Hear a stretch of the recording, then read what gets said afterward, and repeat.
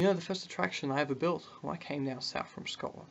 It was a flea circus, Petticoat Lane. It was really quite wonderful. We had a wee trapeze, a merry, a carousel, and a seesaw. They all moved, motorized of course, but people would say they could see the fleas. Oh, I see the fleas, mummy. Can't you see the fleas?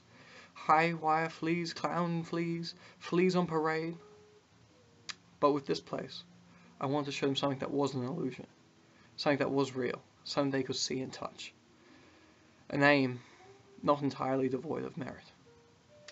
America, bitches, get ready. I'm bringing the merit, you're bringing the illusion.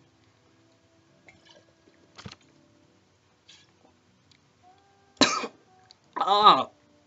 Oh, God.